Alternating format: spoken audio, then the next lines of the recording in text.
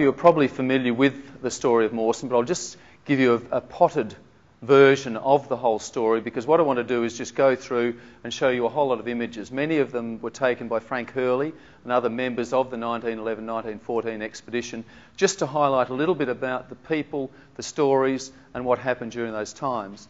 The other thing that I want to do as well is to um, emphasise a little bit of the work and, and the people associated with the other parties that weren't with Douglas Mawson at Cape Denison. Um, a bloke called uh, Harrison had his diaries published uh, just late last year, and it was, in, it was actually entitled The Forgotten Men, the Western Party. And they're often overlooked, so I want to go through that. But in a nutshell, Mawson first went to the Antarctic in 1909 with Shackleton, and so he got a bit of a taste for it. And they often say when you go down there, you get ice in your veins. And I think Mawson did, was, he was afflicted by that. So he then set about his, uh, setting up his own major expedition. Shackleton was going to be the leader, and Mawson was going to be the leader of science. But he didn't want it just to be one of these mere ge- geographical exercises. He wanted to do some serious science. And that was what he set about doing. Now, to do that, he wanted to set up four um, stations. Um, he was also an innovator. One of those stations was going to be at Macquarie Island as a radio relay station so that he could have the first radio wireless contact with the Antarctic continent. But the wireless signal wasn't strong enough to go the whole distance. Have a relay at Macquarie, which is about halfway. That's one station. Three continental stations at which they'd be doing um, geographical work, magnetic work, geological, biological, meteorological, um, doing some work with uh, ast- astronomical observations as well. Huge programs. In the end, he only settled on two bases because they couldn't find suitable sites for the teams to land.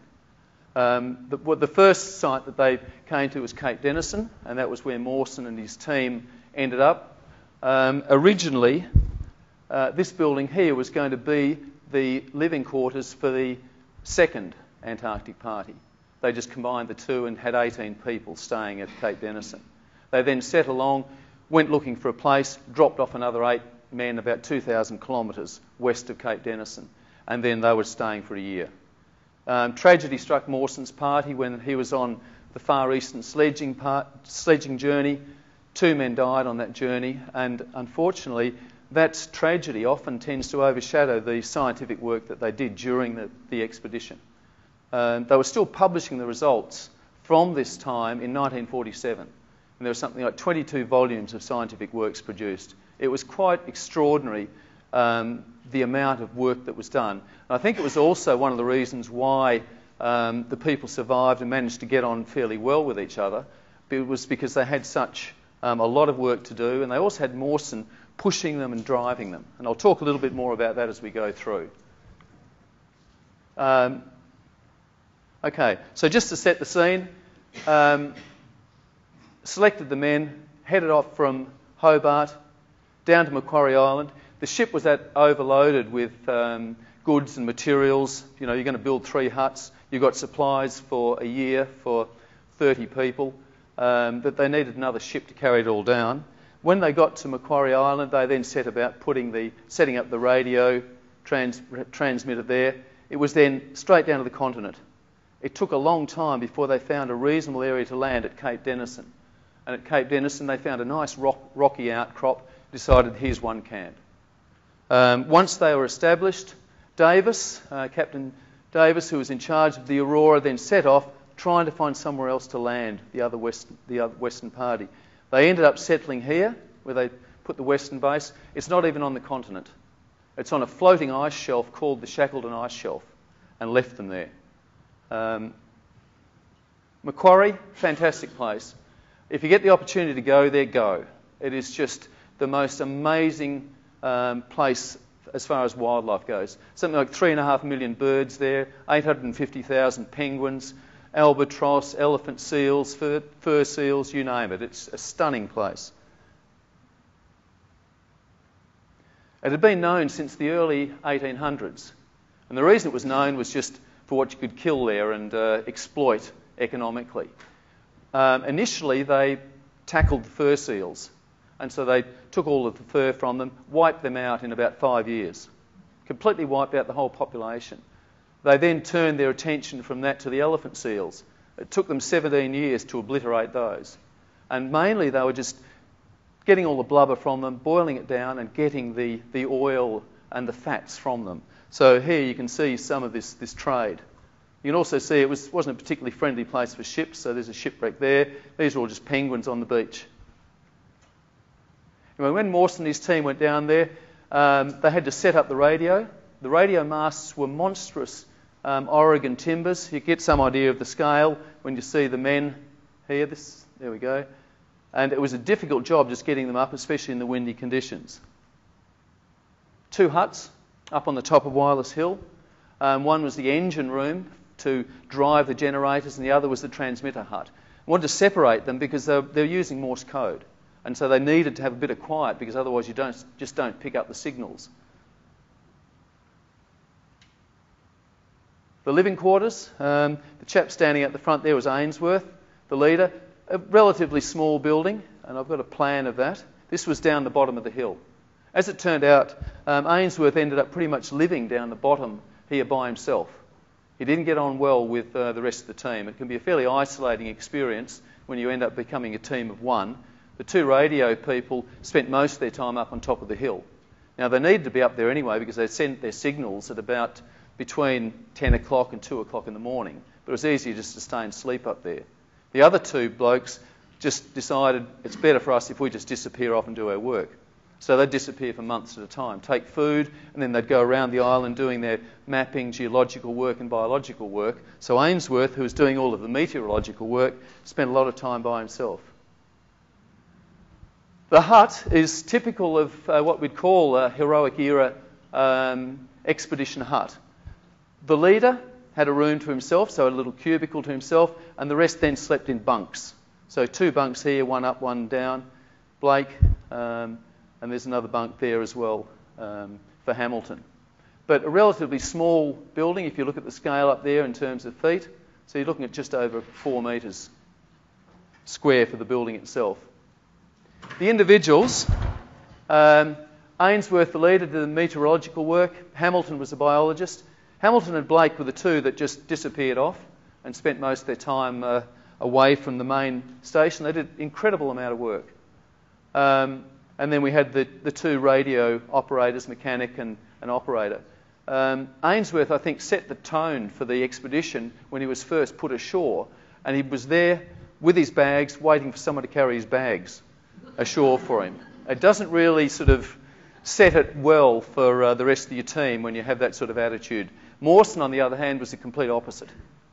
He not only uh, he was a very driven, very very hard-working person, and he would do, expect no one to do anything that he wouldn't do himself.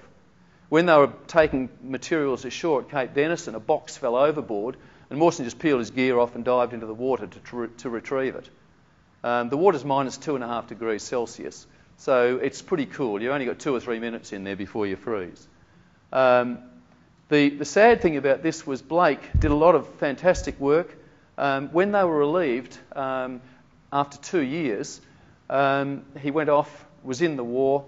About six weeks before the end of the war, he was in the artillery. His horse got hit by a shell and killed. He had his leg blown off and he died the next day. So it was a sad end um, for Blake, unfortunately.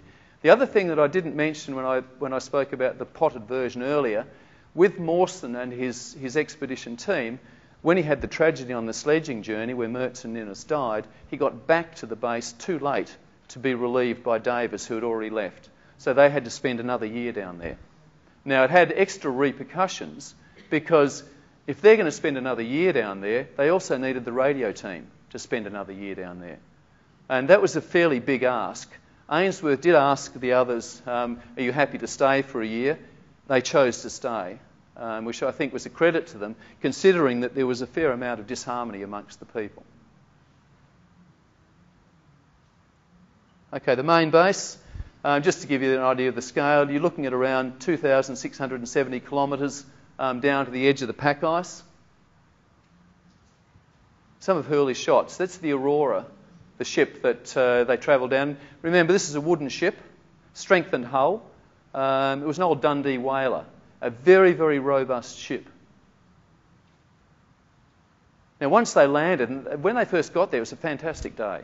It was just beautiful. It was calm, sunny skies, and I thought, what a ripper. We've got this great place, rock. There's a natural little um, spot where we can build the hut, and so away they went.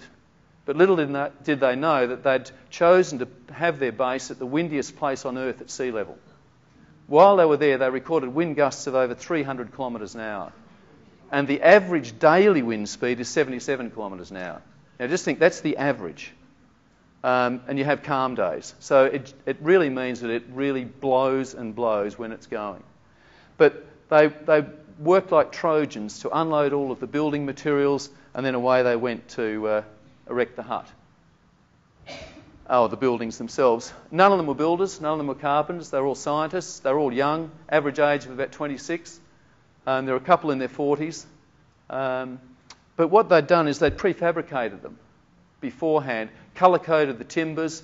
It's a bit like, I guess, IKEA without the, uh, you know, the little, yeah, um, device to put all the timbers together. So that helped to get them up very quickly. It took a couple of weeks. And you can see them just working away on this thing here. A critical part of the whole thing is this stove, which ran 24 hours a day. So the building itself, because they decided they'd used, used up so much time, so much coal just travelling around, they knew they couldn't set up a third um, station on the continent, so they just added the other building onto the end of this one here, put a door through. This became the workshop, this was the living quarters. The design Mawson had learnt from his time with Shackleton that you want a strong building. So, built on a pyramid shape, just a square, verandas on three sides, sloping down to only five foot in the old language, which meant that you got the winds deflected up and over. On the southern windward side, they put all of their boxes of supplies, which helped to trap the snow, and then the wind would come over the top of the building, which again made the building a lot more stable living in tents until the whole thing was put up. Now, you won't be able to read any of this, but, but basically, that's the living quarters there. As with the other one, Mawson had his own little cubicle with a bunk in it. All of the rest of them around here were double bunks around the side. Now, 18 men living in an area that was 7.3 metres by 7.3 metres. So, in the old parlance, 24 feet. Um, all double bunks except for Murphy, who Murphy was going to be the field leader for the third thing, so he was lucky enough he got a bunk without someone laying on top of him and snoring and doing the rest of it. The one thing I think you probably could um, work out is how much it would smell in that in that hut. 18 blokes, um, they would get to have a, a bath once or a wash once every 18 days because the night watchman, and they'd have to have a night watchman to keep the fire going, keep the stove going, make sure the hut didn't catch fire. While everyone else is sleeping, he'd boil a bit of water and have a wash. Um, and most of them smoked. That's the other thing, too. So uh, it's really going to be reasonably unpleasant in there. But stove here, kitchen. This was the dark room that Hurley used. A big dining table so they could all sit around. Over in this corner here was what they called Hyde Park Corner. And I'll show you some images of that. And then the workshop with the wireless here, lathes, stoves, and so on. The dogs were housed off to the, uh, the side here. In the second year, they moved the wireless from there into the main hut, and it worked in the second year. It didn't work very well in the first year. In addition to where they lived and um, worked in the main building, they also put up an astronomical obs- observatory. So, this building here, it had a slot in the roof for taking star sightings put up the radio masts, they'd put them up, they'd get blown down, they'd snap off, they'd put them up again. Um, I mentioned previously that Mawson was an innovator. Um, he took down this plane here. It was, it was Vickers number two, um, but they called it Vickers number one. Um, the reason being that Vickers number one crashed and was trashed beyond uh, salvation. So they called this Vickers number one. Before Mawson took it down to the Antarctic, it also crashed. It crashed when they were taking test flights, damaged the wings irreparably, and as a result of that, um, they couldn't take it down to fly. Probably a good thing because I think people would have died if they'd tried to fly it in the Antarctic. But he took the wings off it and thought, we'll just use this to tow sledges around the place. And so that was the idea. Use it as a mechanised thing. It's an interesting uh, um, device This, by the way, is uh, Dyce Murphy. I'll talk a little bit more about him later. He was one of these blokes I think you've got to have on an expedition because you need people that are going to break up a bit of the seriousness, be a little bit of a fool, have a bit of fun. But uh, the interesting thing was how you turn this device. You had to use the um, air tractor with three men one in the, in the driver's seat and two people standing down here on the sleds, on these skids. Because these things are screws. If you want to turn to the left, the bloke on this side here would turn the screw so it digs into the ice, and then the, the tractor would swing that way. So they had no way of turning it otherwise. As it turned out, it went for about 12 kilometres, and then the motor seized, blew up, snapped the propeller, and so that was the end of it. So it was a nice thought, but it just didn't work, unfortunately. The good thing was that the dogs, the sledges, they all worked well. Inside the hut, just to give you a bit of an idea of what it was like, um, Bage and a couple of others just working. In through this door here was the workshop, um, kitchen bench. Off here was the stove that went 24 hours a day. They burnt um, coal and they also burnt seal blubber. Um, to the left of that was Hurley's darkroom. And this is Hyde Park Corner. Um, fantastic. You can just sort of see the blokes. They've just had their evening meal, and afterwards, what do you do? You're all going to get together, and you're going to get, sit around there and chuff on your pipes. All of them just sitting around smoking and chatting. Um, later, in one of the shot, slides that I'll show you, up on the top here is actually painted in black paint, Hyde Park Corner. All of the people painted their initials and the year on the bunk that they slept in. And so you see where they were for that first year. In the second year, you see where they moved to. And all the people that were on the southern end of the building that got the wind and the drift snow coming through moved towards the northern end closer to the fire. But it's nice because you've got this memory of where they were.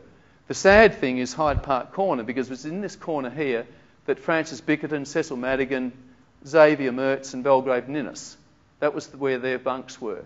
Ninnis and Mertz died, and it became, became, or went, I should say, from a corner that was a social hub basically of this little hut to a place of desolation. Now, the other one is this one. This is Dyce Murphy. Um, that's him there in Hyde Park Corner. This is also Dyce Murphy um, earlier in the 1900s. Um, he went to Oxford, and while he was at Oxford, he was in a few pantomimes, played the role of a woman, and he was recruited to travel around Europe dressed up as a woman, as Edith Dyce Murphy, in the early 1900s, spying on the French and Belgian train systems so that they could work out, uh, you know, how big the stations were, how they, how, what sort of troop movements could be accommodated in these different stations. Um, so he, actually makes a damn good looking woman, I reckon. Um, the other thing was, interestingly, he applied um, for a spot on one of on Shackleton's earlier expedition, and he was rejected on the grounds of being too effeminate. It's quite, it's quite, it's quite interesting because I don't really know what Mawson would have made of someone like Dyce Murphy. Give you a bit of an idea of what the chaos would have been like in the building as well. Um, you go outside, you work, you can still build up a hell of a sweat if you're working hard. You bring your clothes in, you've got to put them somewhere to dry. And so every available bit of space up in the, in the, re, the higher parts of the building that would have been up there so they can dry. This is Bage, just uh, working on with a sewing machine trying to fix the sleeping bag. Inside the workshop, again, it's got a bit of a smoky haze to it. Um, the generator here, a lathe, and so on. What's left in Mawson's huts now is not very much. There's not a lot of equipment. There's not much there at all because because uh, Mawson and his team had to spend well six people plus Mawson spent an extra year there, there was another year of expedition costs.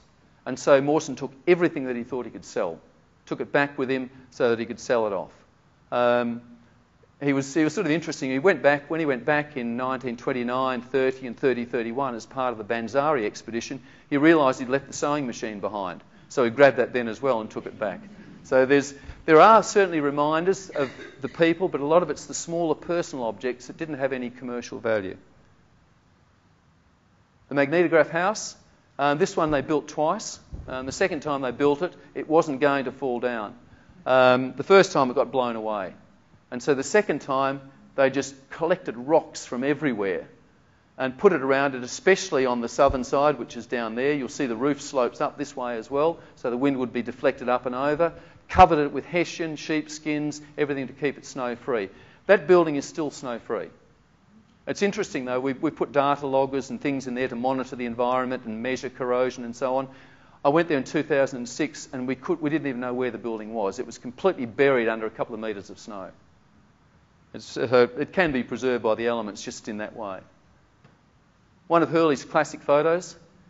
Uh, this is, um, I think it's Whetter and Close outside, just collecting ice. It's interesting, there's the most fresh water on, in the entire world is in the Antarctic, but the problem you have is getting water because it's all, it's all solid and you've got to melt it. So it's, it's quite energy expensive. But they did have tremendous hassles just trying to stand upright in there, in the wind. And Mawson insisted they work. Didn't matter what the conditions were. If you're taking the magnetic readings, you've got to go 300 metres um, to the magnetograph house and to the absolute magnetic hut and do your work. If you're taking the MET observations, you get out there and you do it. And you can see here, you get some indication of what the wind's like. Uh, Madigan is just trying to hang on to this thing, which is on the top of a hill. The wind's got inside his clothes and is billowing out as well. But I think it's part of the reason why they, they were actually able to live and survive so well in that first year. With, by having a strong focus on work, and Mawson insisted that they work hard, I think that gave them that, that drive, and it would sort of cut down a lot of the potential um, problems that can arise when you have people living in such close quarters. Bage at the astronomical uh, observatory. And I've got some photos of that later. You'll see it's more a ruin now. Okay, the sledging journeys. They covered a tremendous amount of distance. The southern party here, um, that was with Hurley, Bage, and Webb. They were trying to get to the South Magnetic Pole. They got fairly close to it, but they didn't quite make it. But they covered a distance of around just below 600 uh, kilometres um, out. Others went in different uh, directions. Um, to the west, over the sea ice around the place. This was Mawson's journey, the Far East sledging journey. And it was at this point here where Ninnis went down a crevasse. Absolutely tragic. Mawson had already, uh, Mertz was skiing ahead. And it, it's an interesting thing. The dogs will pull sleds and they'll run if they've got a target. Because if, when you're on a featureless plain, there's nothing for them to run towards. And so Mertz, who was the, the Swiss cross-country skiing champion, he'd be skiing ahead. And then um, he pointed out crevasse here, crossed it. Mawson went across it with his dog sled as well and his dog team. Ninnis was the third in line. He went down the crevasse. Um, the thought is that he wasn't on the sled. He was running next to the sled. And you run, you have a point pressure through your feet so you, have a, you don't spread the weight over a big surface area. Created enough pre- downward pressure to break the bridge of the crevasse. Down he went. No trace of him.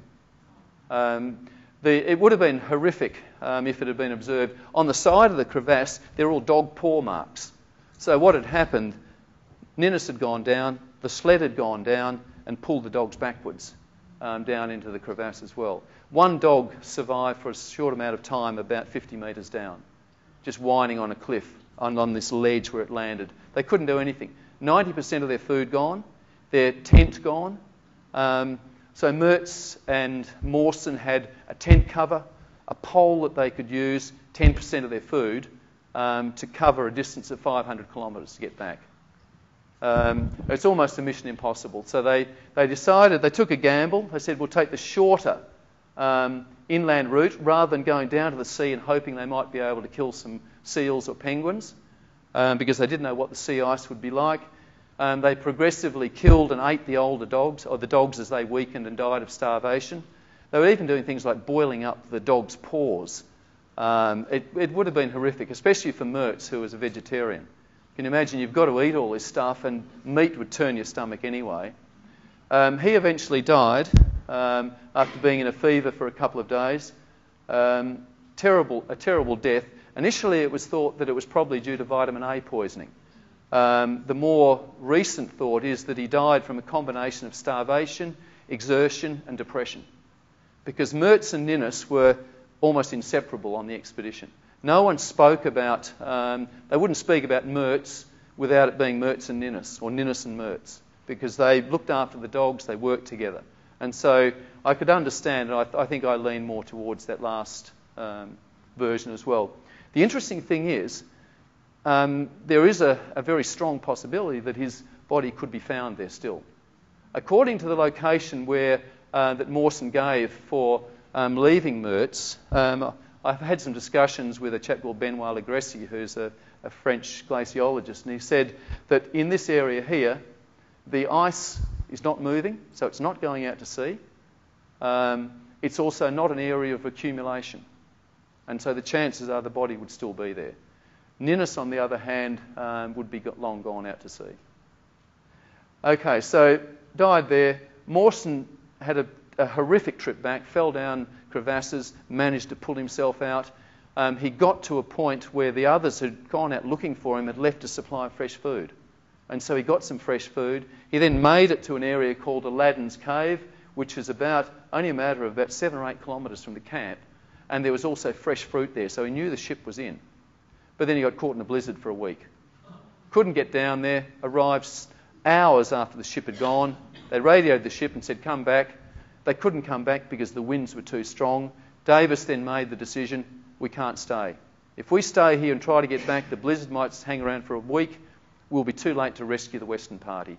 And he felt these people are at least safe. They left a, a party back at the hut of six people to look after any survivors that came back. We've got to go and rescue the others who were living on an ice cliff. And so they left them there for another year. A hard decision, but I think the right decision.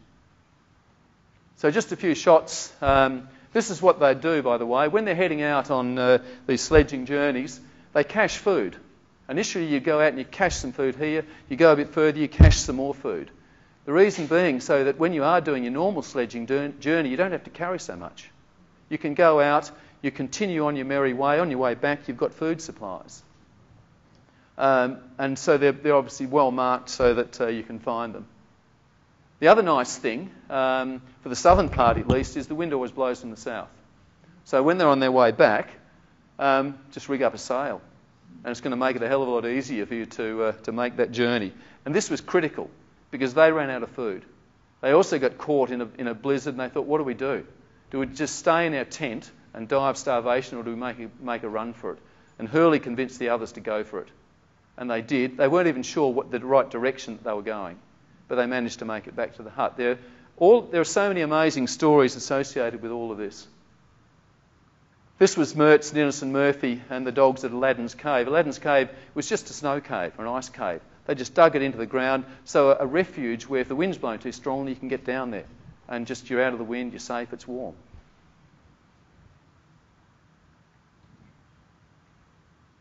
Um, this is the memorial plaque. Um, in the second year, um, Bickett, sorry, Hodgeman carved this and put it um, with, a, with a huge cross um, that was made out of radio masts on Azimuth Hill as a memorial to Belgrave and Innocent Xavier Mertz. Now, the original is in Hobart at the Antarctic Division, but there's a replica plaque there. And this one is, um, I re- think, really quite poignant. Uh, can you read that up the back, by the way? Okay. Because just the sadness of the people that were left behind, because um, Bickerton uh, and Madigan were in the, in the six that stayed behind. So they were there in a hut that the previous year had 18 people in. There's now seven of them, including a very sick Mawson, and they've got Hyde Park Corner. Um, that's Hyde Park Corner now. Um, you can see just written up the top here Hyde Park Corner painted on the top. It does look bare, barren, and I think it brings home you know, the desolation. And for me, anyway, it's a really powerful feeling of just what it would have been like for them um, to come back there and uh, Ninnis and Mertz were no longer around. Okay, I'll move on to the Western Party. I don't expect you to read that, but uh, basically, they went looking for a place to land. They couldn't find anything. Um, eventually, they got to a point where they were, they were just running. The Aurora was running out of fuel. They needed somewhere, and they came to the Shackleton ice shelf. And Wild said, You can, put, you can leave us here. It'll be okay. Um, they, they had to go up about 30 metres, I guess, um, up onto this, this ice cliff, move all of their materials a long way back, and build their hut. Davis wasn't all that happy about doing it, and he said to Frank Wild, he said, I just want you to write me a note, just saying, you know, Dear Captain Davis, I'm really happy that you're going to leave us here. And I'm glad to spend the next 12 months on this ice shelf with my men. Because Davis didn't want to leave them there. The ice shelf break off, float out to sea, and they all die. So he said, write something just so that my rear end is covered. And so Wild did that. The good thing is, this was Wild's third Antarctic trip. He was a veteran um, of Scott and earlier Scott, Scott and Shackleton's expeditions, so he was a very, very good leader and a good person to have at that party. Um, this was Frank Wild here. Harrisson uh, was the biologist, and then the other men in the party. Interestingly, um, where is he? Dovers, down the bottom here. His son um, became the first field leader at Mawson Station when Mawson Station was first established in 1954. But they had a fantastic year. Um, Wild was a different sort of a leader to um, Mawson. He expected them to do all of their work, but he also let them play. So they'd do their work in the morning into the early afternoon, and then he said, do whatever you like after that. And so they'd go outside, and I read Harrisson's diaries last year, and they'd go outside and they'd play football on the ice. Uh, or they'd go sliding down the ice slopes. Or they'd just go out and take some photographs of penguins. So they had sort of a, what I considered to be a fantastic year. They did their work, but they had a bit of fun. And they all got on well. The, the only unfortunate thing, I guess, was for Harrisson. He was the oldest one of the party. He was the only non smoker. And when I read his diaries, he said there were times when he had to run outside and throw up because he was just choking on the smoke inside the hut. So this is the Aurora on the ice edge. It just parked up against the fast ice. Then they had to set up a flying fox, drag everything up the top. Dogs, um, building materials, away they went. Then they built the hut. It's exactly the same dimensions as the other one. The good thing about this hut was it had felt over the entire surface. And so that kept it snow free. So it was a very cosy environment. That's the hut a couple of months after it was put up, completely covered in snow and ice. Um, but this is where Wild's experience showed as well, because what he did was he just said, oh, well, let's just build a whole lot of tunnels around here. He stored all of the food, all of the boxes, everything inside the tunnels, so they didn't have to go outside to um, get their food. They just open the door, go into the tunnel, grab a box, bring it, bring it in. Actually, that reminds me of one story I probably should have told you about the other hut. The other hut had a cellar under the, under the building. Murphy was in charge of the stores. And what he'd do if he wanted a leg of lamb or some meat, he'd just throw a husky in there. The husky would go in there, grab a chunk of meat, come out, Murphy'd grab the dog, and then get the meat. And uh, you read in the diaries and it said sometimes the dog won. So it got, pa- got past Murphy, and that was the end of their meat. Then have to send another dog in to get some more meat because it was only a small hole and grovelling around down there wouldn't have been that much fun. But there's just showing a ladder, you know, just to get out to the, to the building, out from the uh, veranda and so on, the tunnels. They also did a lot of um, exploration. It was very difficult terrain, though. You're on, a, on an ice shelf, very heavily crevassed. It wasn't um, nice territory to be moving around in, but they still covered a heck of a lot of ground, a lot of cartography. They did the same sort of biological work not a, lot, not a lot of opportunity for geological work, but where there were exposed islands and so on, they could do that. But I think this is where probably a little bit of experience, but also it might have been because the conditions were so bad, they had to be more cautious than the other party. But you can see here, they're just crossing a heavily crevassed area where there's a lot of really broken snow, but there's one bloke here, he's broke, he's roped to this chap who's roped to the sled, who's roped over this chap. They all have harnesses, and there were numerous times, the number of times they fell down crevasses, they lost count of it. So they'd just be falling down, and they'd become almost quite nonchalant about it. They're just describing the beautiful blues and greens of the ice while they're hanging there, you know, five metres down, just waiting to be pulled out. But you've got to have a lot of faith in your harnesses.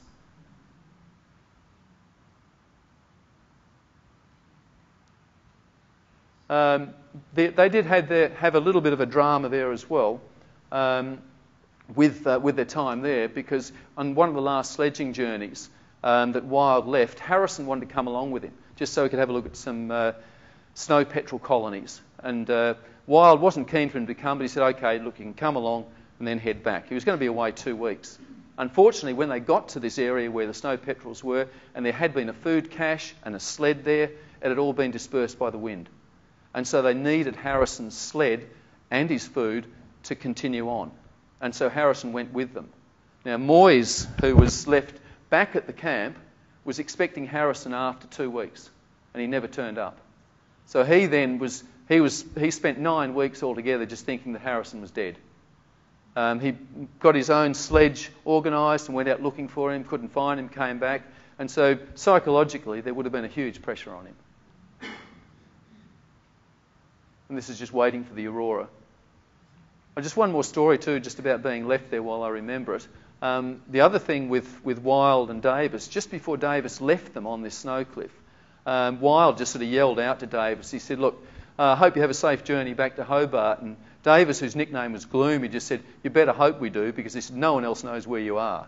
So they would have they would have been absolutely had it, because um, they did have a radio, but it couldn't transmit any distance. The other thing was when they unpacked all all of the radio, there weren't enough parts there to make the radio operational. So that didn't help. They also dipped out because the sewing machine they were meant to have didn't, wasn't there either in their supplies, and so they had to do all of their sewing by hand. This is just waiting for the uh, aurora to come, while just relaxing on the top. This is also nice when you read it in the journals, and uh, you see Davis sort of saying, I was, I was starting to wonder what had happened the, with the Western Party. I left eight people there. When he came back, he could see 12 people the, or 12 figures on the shore. And there were sort of the, the eight blokes and four emperor penguins just sort of out, out waiting.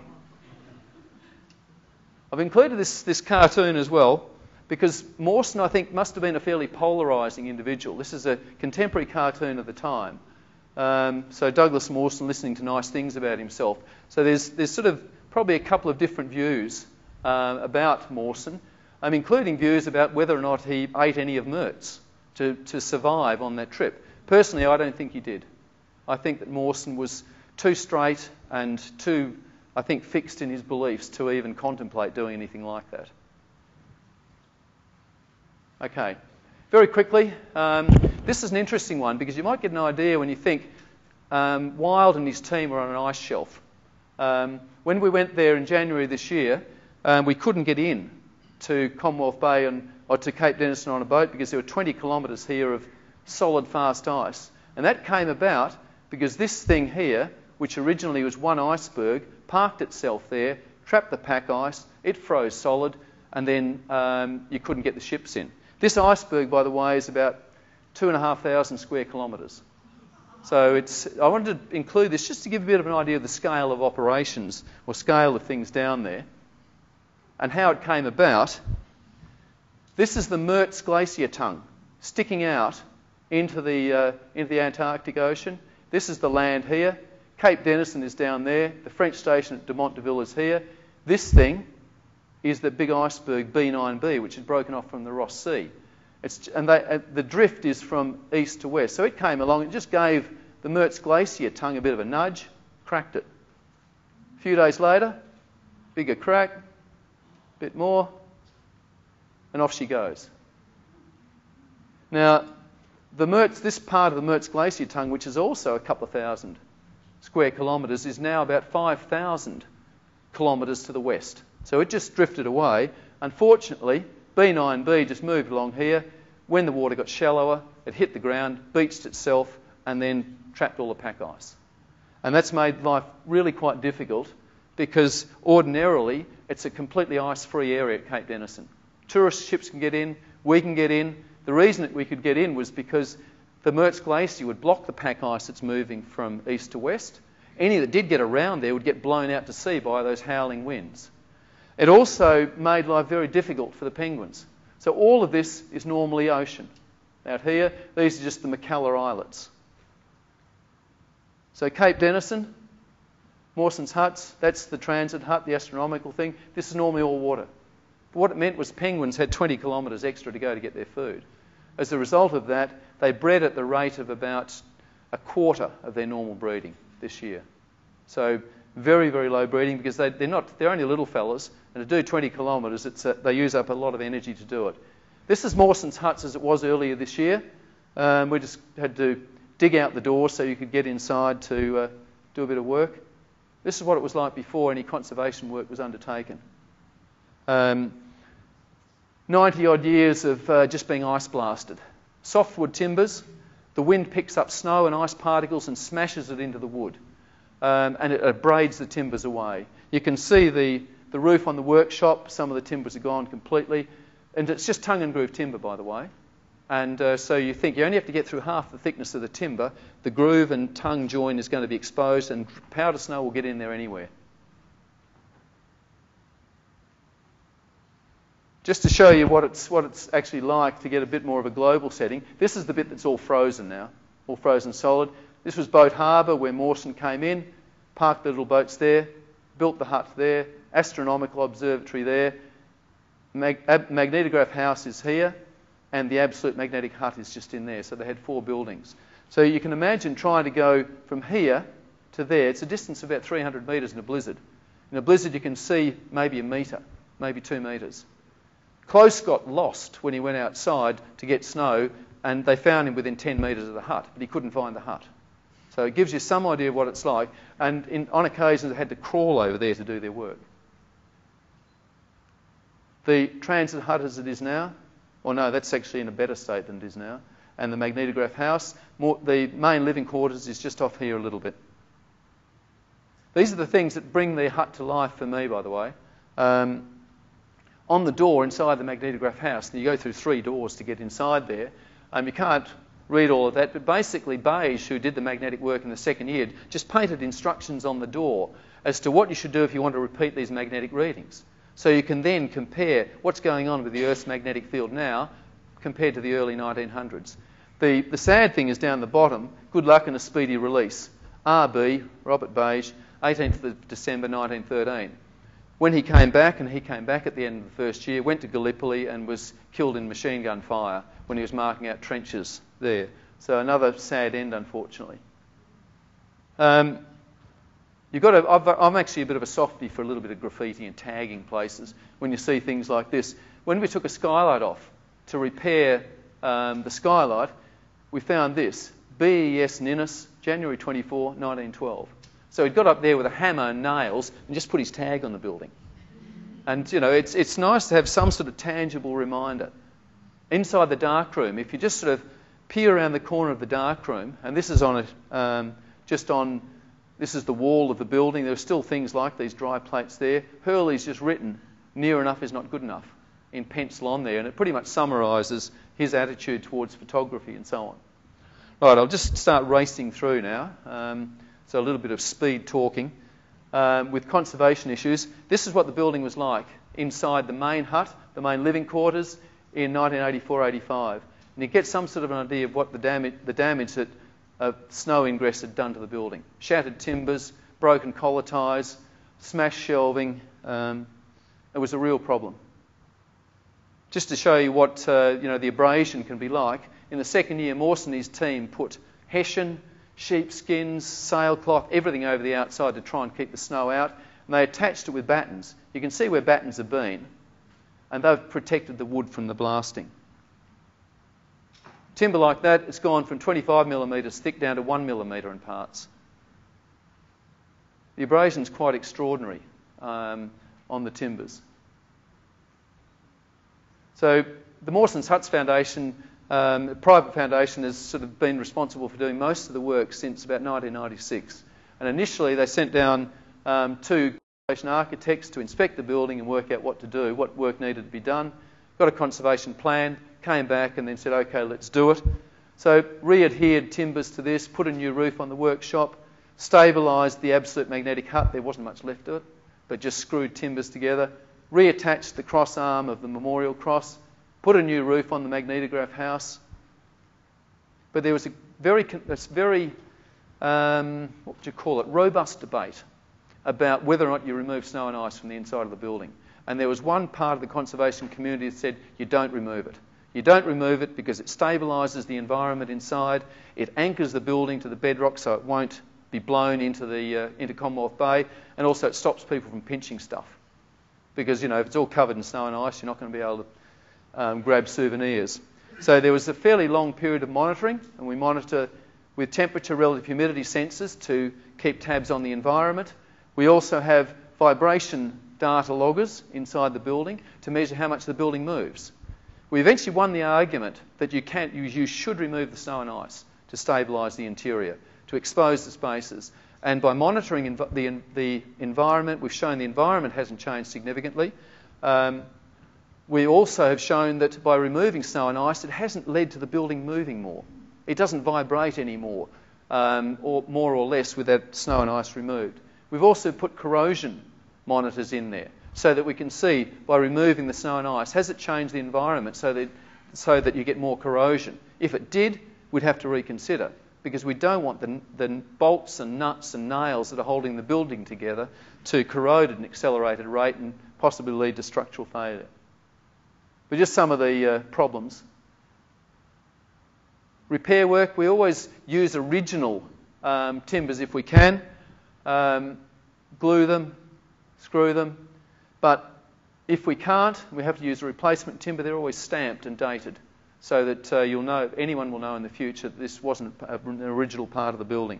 So there's been quite a lot of work done to, to fix the ceilings and collar ties and so on. But we will use any original materials we can, such as these uh, metal straps, U-bolts, spacer blocks, etc. Bit of ice removal. This was Mawson's cubicle, by the way. Um, he had a little picture gallery along there, so we just removed the snow and ice from that. That was where it was. So we had a couple of big biscuit barrels in there too a few other bits and pieces. That was one of the pictures that he had on his wall. Um, probably a little bit risque for the time, I guess.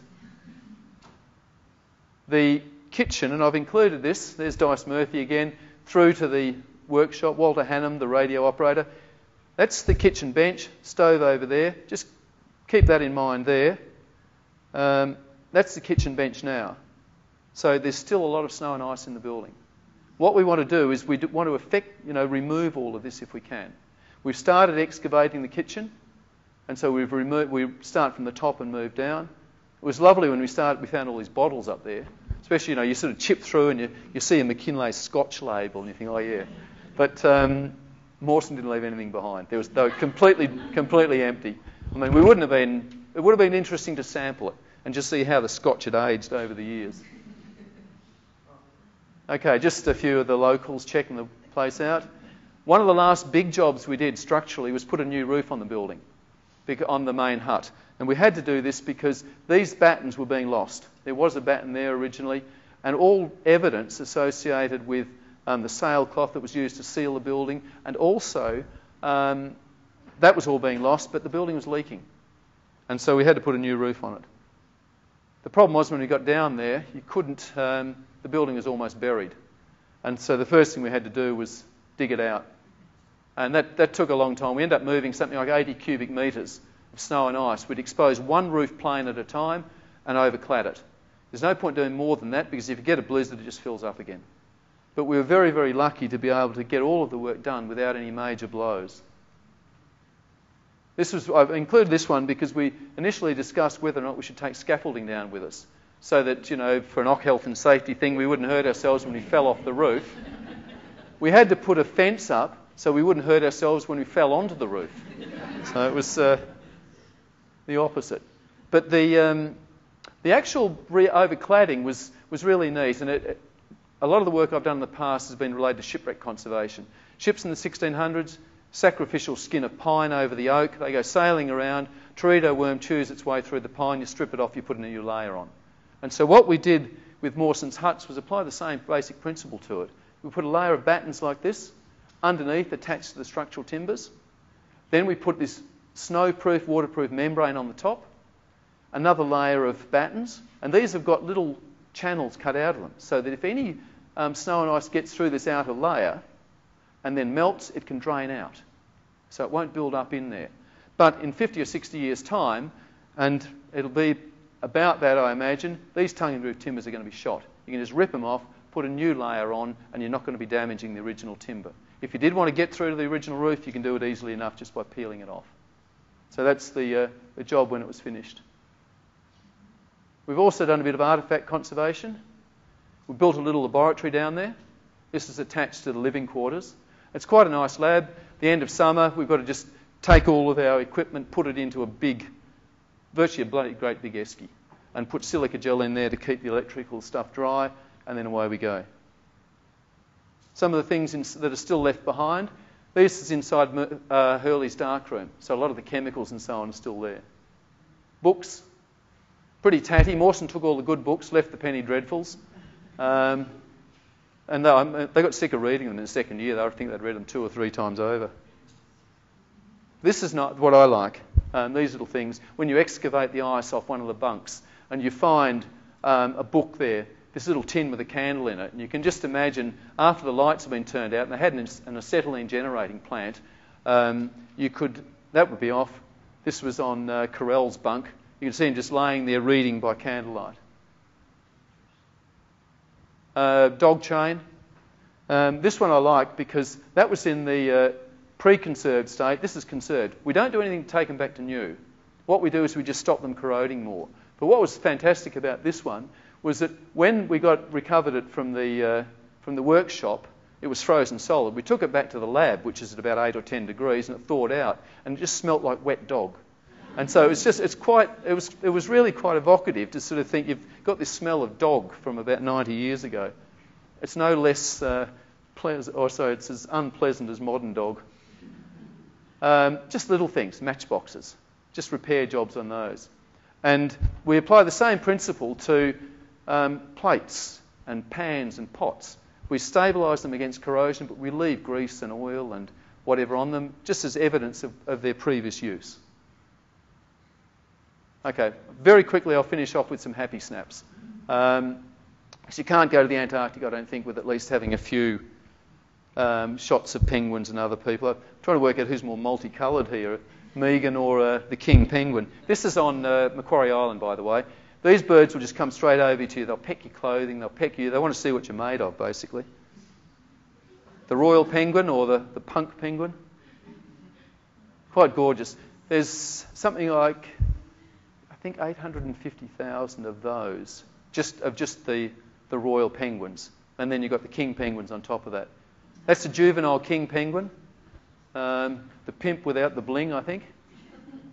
And uh, just on the beach, you, you go onto the beaches at Sandy Bay and other places, and there are literally thousands of these penguins there. Um, and the interesting thing is, because they can breed all year round, they're, they're in various stages. So this one is a juvenile who's still got his full fur coat. These two are in various stages. This one's got the egg on the foot.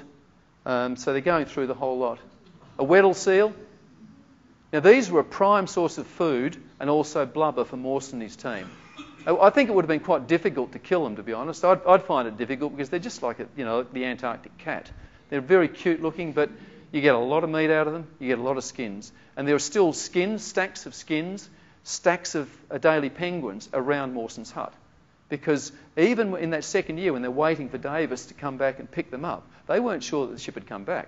So they've got to start killing penguins in case they had to spend another year there. Killing penguins, killing seals. So you get caches of penguins this high that are just stored outside in the ice. They're getting a bit skeletal now. Um, that was earlier this year. Um, the dog um, is called Stay um, because it's the, only, it's the, only, command that he, uh, he obeys. But he's, uh, he's sort of uh, a veteran of the Australian Antarctic Division. I was quite surprised because I was down there and um, the helicopter came in with a load of cargo and out popped Stay. Now, he's got his own passport um, wherever he goes, and he just travels around the different Antarctic stations. And um, wherever he goes, you put a new st- the postmaster will put the stamp in for, uh, for that. So at the moment, Stay is still down at Cape Denison. What we did was we took him over and we put him inside the field hut. We thought we'd better leave him a bowl, but he doesn't really drink much or eat much, so we left it empty. But he's got his rug, stamped his passport, He's going to be there at Christmas this year, so we put some Christmas ears on him and left him there. Got to have the uh, iceberg shots. I mean, for me, I just I love them. The more misshapen the berg, the better it is. They've weathered, and there's something really quite magnificent about them. And you know, the bergs that you can see, they, they can vary. They can be 100 kilometres long. They can be relatively small. This wasn't ta- this is a bit of a cheat. This wasn't taken at Cape Denison. It was taken at Casey Station when I went on an iceberg cruise in the evening. But I just love the sort of scalloped look of that berg. And then finally, um, just some shots of uh, these little guys leaping out of the water because this was my 10th trip to the Antarctic and I'd never been able to get a photograph of them, penguins jumping out of the water. I think no one had told them that they can't fly. And uh, normally at Cape Denison, you have these little snow cliffs around the edge, and they're a metre and a half to two metres high. And what the Adelie penguins do, they go out, they feed, and then when they're coming back to shore, they just accelerate and go up like that so that they can make it up onto the, up onto the little ice cliffs.